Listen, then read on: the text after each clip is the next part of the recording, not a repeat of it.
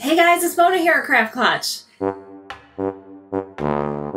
As promised, I am putting some stuff up for sale. And I'm going to try this out with four things today. Four things, five things, five things today. So I'm going to try this first with five items and then I'm going to list on eBay.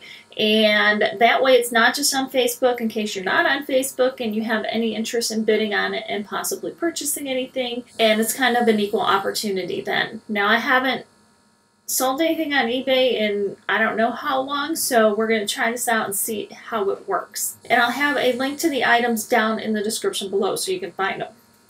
So the first item goes way, way, way back, and it is a zombie ornament.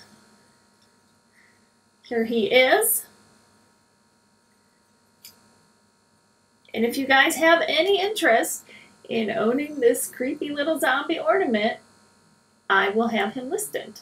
The second item is these three resin coasters and I'm going to just sell them as a set. I don't know if I should be selling them separately or what, but we'll try it out as a set.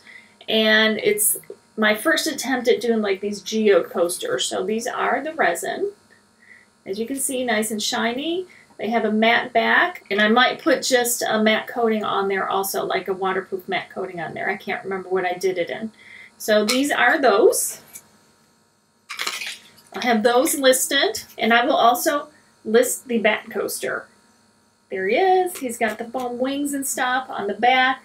I will sign these if you guys want them signed. I'm also going to do the love sign which is easy to hang up because it's recessed and it can just hang up on a nail or any kind of a uh, hook that you have in the wall, or you can set it on a shelf. And I will have links to all of these videos too if you need to have a refresher. And here's my Happy Easter with the two bunnies and their little raised cottontails. And again, this is the same kind of a thing, very easy to hang. I know Easter's over, but Easter will come again. So if you're watching this, they are already listed, so head on over there if you have any interest in them. And I will let the bidding go for, I don't know, about a week or so. And plus or minus, just kind of check the dates. I haven't figured all of the details out yet.